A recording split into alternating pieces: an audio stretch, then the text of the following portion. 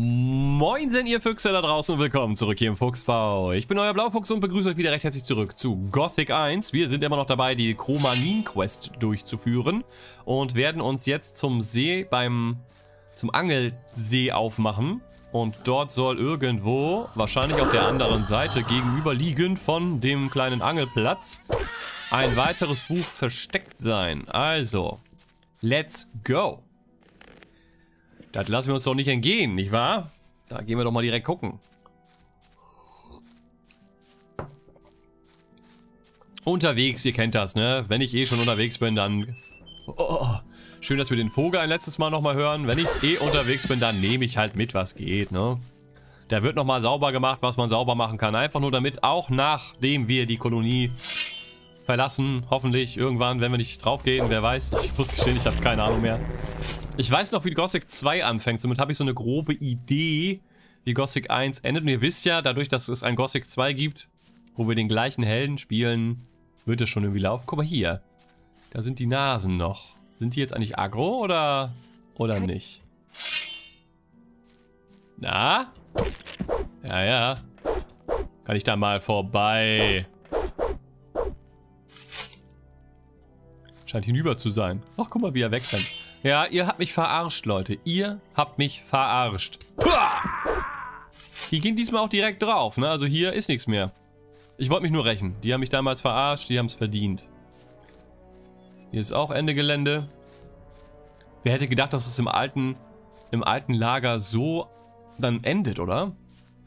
Ich muss das Game auf jeden Fall noch mal im alten Lager spielen.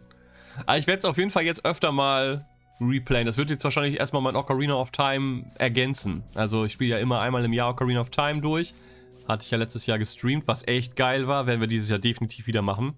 Das hat so Gaudi gemacht, mit euch da eben ein paar Tagen Ocarina of Time durchzusuchten. So cool.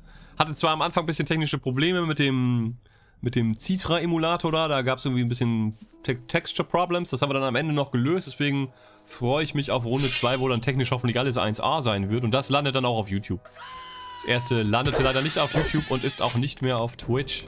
Es ist somit für die Ewigkeit verloren gegangen. Und dabei gab es da echt ein paar Sternmomente. Also, ich habe diesen Wassertempel Endboss, den habe ich so geil Wong gehittet, das war unfassbar. Ich habe sein Auge einfach in eine Ecke eingeklemmt und habe ihn sofort platt gemacht. Das war, da war ich sehr stolz drauf. Leider wird das die Nachwelt nicht mehr sehen. Es ist leider vorbei. Aber vielleicht schaffen wir es beim zweiten Mal ja wieder. Wer weiß. Wer weiß. So. Wir nähern uns jetzt der Angelstelle und hoffen das Beste. Ich glaube, ich hoffe, wir sind da. Also, sonst hätte ich, also ich muss gestehen, ich hätte sonst keine Idee mehr. Ich würde dann sonst wahrscheinlich äh, im Sumpf, da ist auch noch dieses eine Haus, wenn ihr euch noch erinnert, äh, wo die Leiche drin lag. Das könnte vielleicht auch ein Angelspot sein, aber da wüsste ich nicht, wo die gegenüberliegende Seite sein soll. Ne? Hier ist ganz klar, hier ist ein kleiner See und da gibt es auch ein Ufer auf der gegenüberliegenden Seite. Insofern könnte das passen.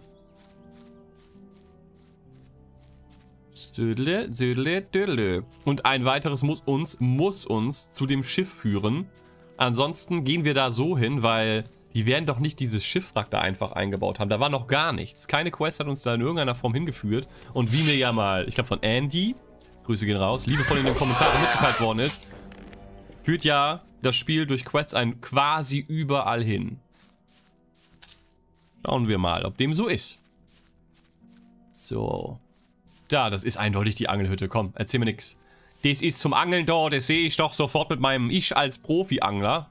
Sehe sofort, dass das eine Angelhütte ist. Und es gibt ein Gegenüber. Und das Wichtigste, es gibt Blutfliegen. Äh, Grabmann, Grabmann. Du, du, du, du, du. So. Ba, ba, ba. Und auch der kleine Scavenger ist wieder da. Hallo. Hier wird nur noch Wong gehittet. So. War das, das war jetzt die, der Schnack. Ich glaube, wir müssen auf die gegenüberliegende Seite, ne? Ich gucke erstmal im Haus. Vielleicht ist ja da noch was drin. Nö. Ich habe mir mal gespeichert, wenn ihr euch noch erinnert. Ich habe hier mal gespeichert und Break gemacht. Gut, dann gehen wir mal auf die andere Seite. Da werden wir definitiv... Ups. Oh, jetzt geht das wieder los. Wenn wir definitiv einen Lurker finden. Oh, die Kamera auch. Ist es so... Wie tief ist denn das hier? Das ist ganz schön tief. Oh, oh. Oh, das ist wirklich ein See. Nein, bleib doch oben, Digga. Danke. Das ist tiefer als gedacht hier. Das ist definitiv ein See. Oh, gucken wir doch mal, ob wir auf der gegenüberliegenden Seite jetzt ein Buch finden. Da ist es. Hundertprozentig. Wir haben einen richtigen Lauf. Altes Buch. Gut. Schauen wir mal, was dort wieder drin steht. Hoffentlich etwas Verständliches. Noch ist es nicht peinlich für mich, muss ich sagen. Chromanin 4. Ich habe das Buch gefunden. Ich wage nicht zu hoffen, eines Tages Chromanin selbst zu erleben. Vorbei sind die Tage der Verschwendung und des Klagens. So leicht wird es sein, die völlige Vollendung zu erreichen. Ich bin nicht mehr weit davon entfernt. Vergessen sind die Taten jener, die sich einst an Bord befanden. Ja, komm. Digga, wenn das mal jetzt nicht unser Schiff ist. An Bord des Schiffes. Ich wusste es doch. Einmal Schiff muss schon sein. Wir sind jetzt bei Folge 90. Let's go. Okay, dann machen wir uns auf zum Schiff. Tja, wie geht man denn da jetzt am besten hin? Sumpflager?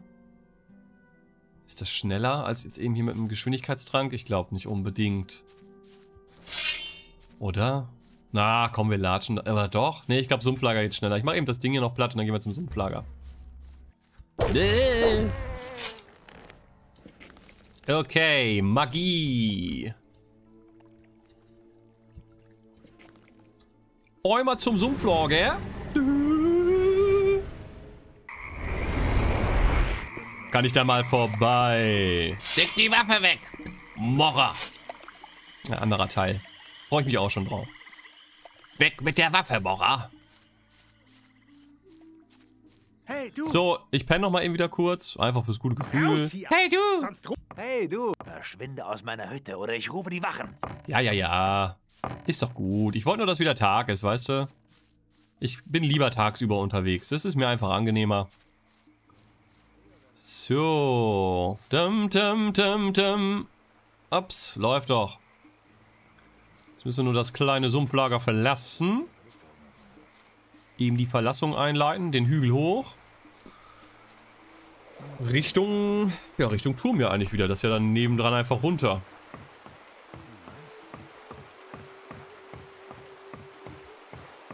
So, hallo. Moin, moin. Froh, dass die wenigstens nett zu mir sind und mir nicht auf die Fresse hauen, ne? Dann brauchen wir jetzt einen Geschwindigkeitstrank, bitte. Wo ich den guten? Zwei Minuten, ja. Ich den guten, den mit zwei Minuten. Und wir rennen. Wir rennen.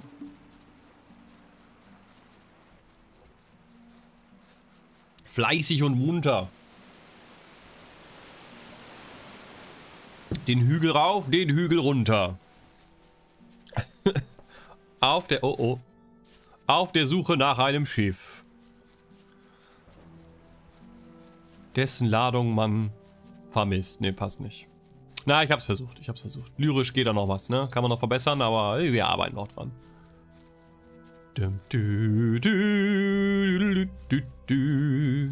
Ich muss sagen, so mit diesen dichten Baumkronen wirkt der Baum, äh, der Baum, der Wald waldiger. Das gefällt mir echt ganz gut. Das gefällt mir besser als mit dem super, du kannst überall hingucken, Shader. War, war denn da überhaupt oben Waldkronen? Ich erinnere mich ohne Scheiß nicht mehr dran, wie es vorher aussah. Wenn jetzt nur diese Ladewände weg wären. Aber muss man sagen, technisch ein coole, coole, cooler Trick, ne? Haben die sich ganz geil überlegt eigentlich. So konnte man sowas auf räudige Hardware von damals realisieren. Einfach die Hälfte nicht anzeigen. Hallo? Während er da so futtert, kommt da einer an, knallt ihn One-Hit weg. So, hier ist wieder der Turm. Hier ist Feuer. Ach, da habe ich mir mal meine Fackel fallen lassen. Ja, ja, lange ist es her. Die liegt hier immer noch rum. Und hier geht es jetzt zum Strand hinab. Und ich denke mal, an Bord des Schiffes werden wir das Buch finden. Hoffentlich. Bam. Oh, Feuerwehrrane. Oh oh. Da habe ich ein bisschen Angst, ne? Habe ich ja doch ein bisschen Respekt erfüllt, muss ich sagen.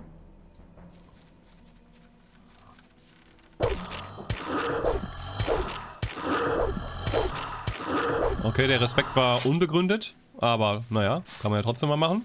Gib mir all deinen Krams. Gib mir all deinen Krams.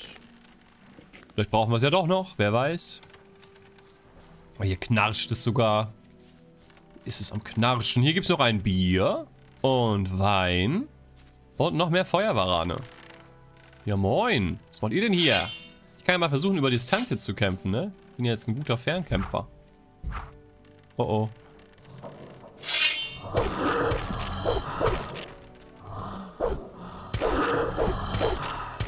Finde es schön, wie er so einen kleinen Tanz macht. Oh oh. Oh oh. Wenn sie dann angreifen, dann aber ordentlich, Alter. Dann gibt's aber, dann gibt's einen drauf. Ups, was habe ich jetzt gemacht? Ich habe irgendwie Boxen gestartet. Wollte eigentlich nur schnell looten. Sch schnell Loot, Fast Loot aktivieren.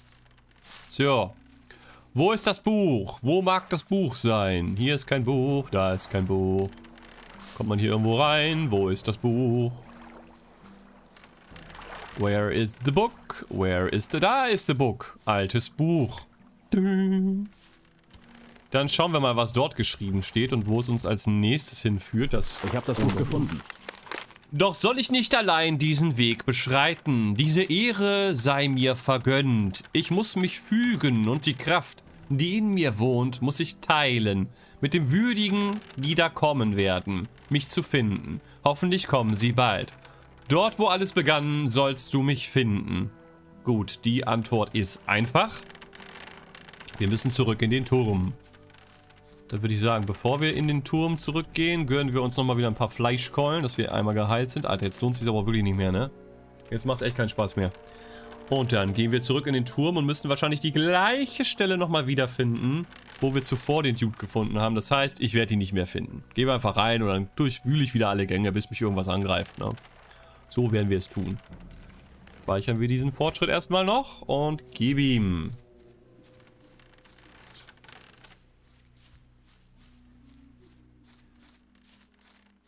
Und danach, wenn wir das gemacht haben, ist es soweit.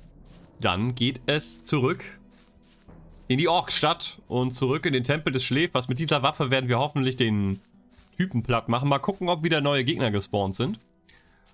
Oder ob wir dann einfach durchspazieren können bis zum bitteren Ende. Das wird sich ja dann zeigen. So, rein in den Turm. The Turm again.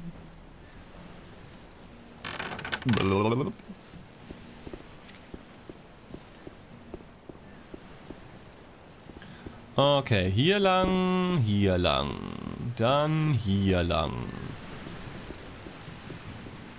Wir folgen dem Meeresrauschen. Ja, dann ging es irgendwo hin. Keine Ahnung. Werden wir schon schaffen. Verschiedenes. Dämonen, Schlüssel, Fackel. Buff. So, let's go. Gehen wir mal wieder hinab. Dorthin, wo alles begann.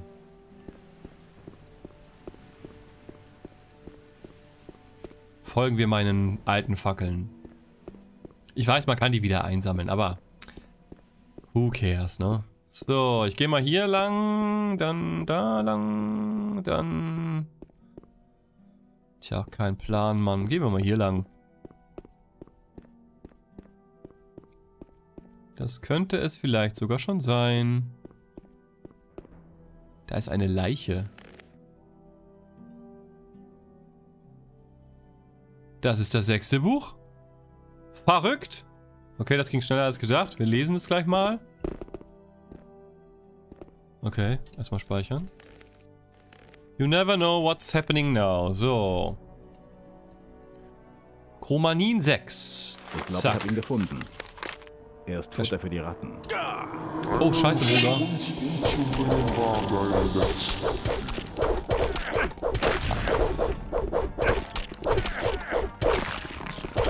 Okay, wir sind in eine Falle gelaufen. Das kam etwas unerwartet, gebe ich zu. Also gut, eigentlich, wenn man ehrlich ist, nicht unbedingt. Man hätte schon damit rechnen können, dass das hier eine Falle ist. So, hier wird irgendwie ge gezaubert. Ah, guck mal, der Witzkerl zaubert. Der zaubert neue Skelette hervor. Ich mach den erstmal platt. Erst den Magier. Damit der aufhört, weiter Skelette zu spawnen. Dann die Skelette. Alter, Leute, komm schon. Lasst euch doch mal einfach... Oh, die sind verdammt stabil. Hashtag Real Talk, oder? Das war's jetzt. Ich habe keine legendäre Waffe oder sowas bekommen. Ich wurde einfach nur verarscht. Dafür bin ich jetzt durch die ganze Gegend nochmal gelatscht. Ja, Ehre. Na gut. Kann man mal machen, würde ich sagen. Ne? Kann man mal, kann man sich mal gönnen. Ja. Ja, gut. dann würde ich sagen, äh, Leute, dann äh, ist es nun soweit. Dann machen wir uns jetzt ähm, auf zurück zur Orkstadt. Und werden dort dann zurück in den Tempel des Schläfers gehen. Jetzt verlassen wir erstmal wieder den Turm. Ich gehe einfach von hier los, ne, ganz ehrlich. Äh, wir könnten uns jetzt... Ja, wir können uns auch in Sumpflager teleportieren und von da losgehen, aber wir können auch eben aus dem Turm hier wieder rausgehen. Und dann latschen wir den Hügel runter, am alten Lager vorbei, rein in das Orkgebiet und dann können wir nämlich so direkt zum, zur Orkstadt latschen.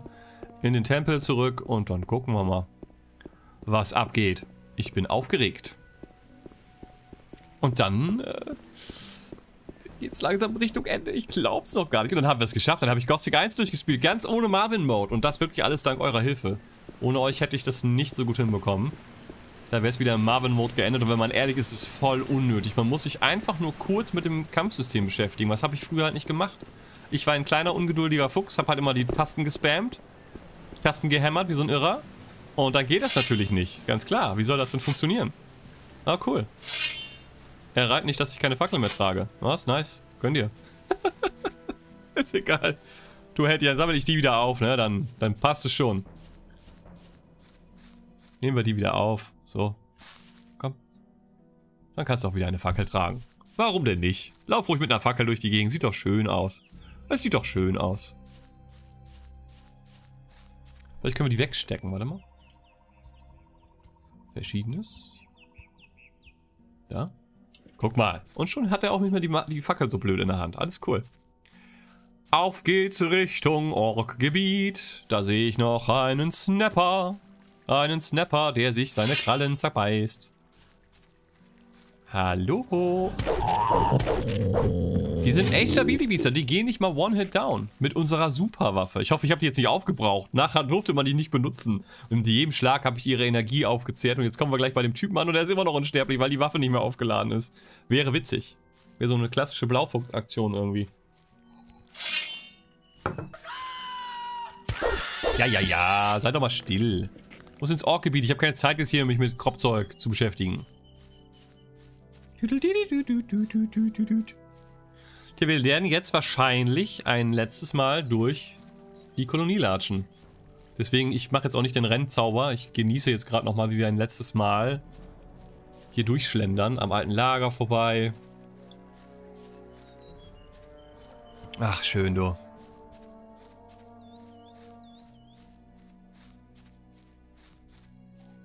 Mm, mm, mm, mm. Kann ich da mal vorbei? Corona ist vorbei? Fragezeichen. Nee, das hat. Da, danke Siri, danke, danke Siri. War doch klar, dass das so läuft. Siri ist gut. Oh, hier war der nächste. Ah, das ist Diego. Diego ist Kumpel. Diego greift uns nicht an. Diego, moin. Bin ein richtig krasser Dude geworden, ne? Hau rein. Ich werde uns eben befreien. Ja? Und danach gehen wir ordentlich einsaufen. Ordentlich einsaufen. Wir haben so viel Fleisch am Start. Das wird super werden. Vertrau mir, Diego. Das wird eine nice Sache. Eine richtig nice Sache. Du, du. Du, du, du.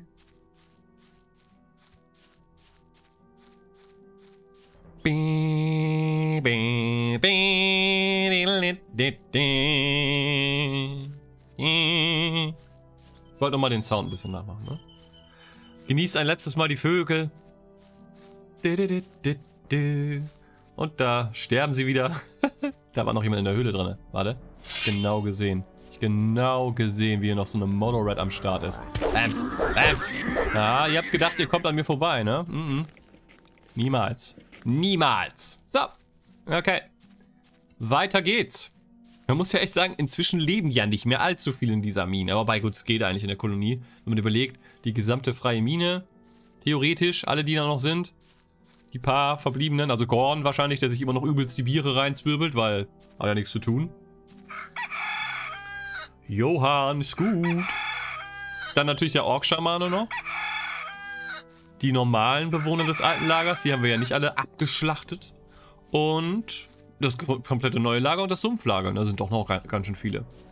Gut, meine Lieben, ihr hört den Honk reden und ihr wisst, was das bedeutet. Wir machen dann an dieser Stelle erstmal so einen ganz kleinen gemütlichen Break. Wenn euch das Ganze gefallen oder nicht gefallen hat, lasst entsprechende Däumlein da, Kommentare und Feedback natürlich wie immer gerne unter dem Video posten. Und ansonsten sehen wir uns dann im nächsten Part wieder und werden hier Richtung Orkstadt gehen. Bis dahin euch viel Spaß beim Zocken. Tschüss, euer Blaufuchs.